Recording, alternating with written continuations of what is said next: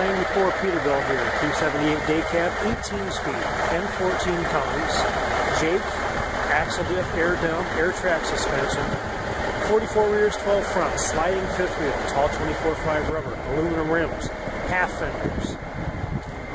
Came out of the south, frame's nice and clean on it, for 94. Just going to give you interior on it here. Trucks have not been detailed or anything.